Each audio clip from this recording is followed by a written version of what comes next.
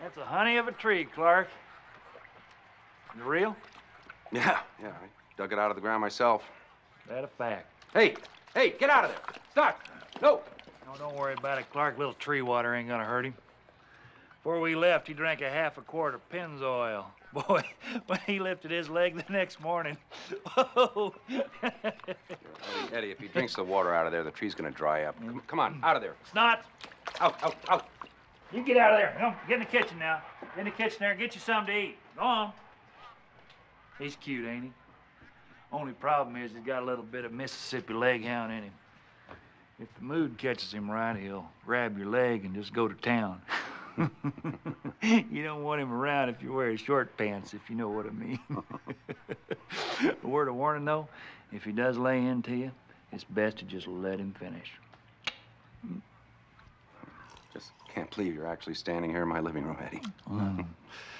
Never thought the day would come. Yeah, I'm excited about it too. Yeah. It's a crying shame the older kids couldn't make it. I'll, I'll get that. Don't worry about it. It's fine. Now, let me do it. Yeah, I got the daughter in the clinic getting cured off the wild turkey.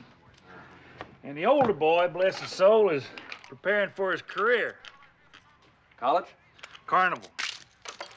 You gotta be proud. Oh, yeah.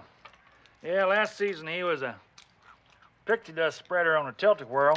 And he thinks that maybe next year he'll be guessing people's weight or barking for the yak woman. You ever see her? No. Yeah, she got these big horns growing right out above her ear. Yeah, she's ugly as sin, but a sweet gal and a hell of a good cook. Can I refill your eggnog for you? Get you something to eat? Drive you out to the middle of nowhere? Leave you for dead? No, I'm doing just fine, Clark. Just glad to be here. Yeah. So, when did you get the uh, tenement on wheels? Oh, that there, that uh, that's an RV. Yeah, yeah. I borrowed it off a buddy of mine. He took my house. I took the RV. it's a good-looking vehicle, ain't it? Yeah.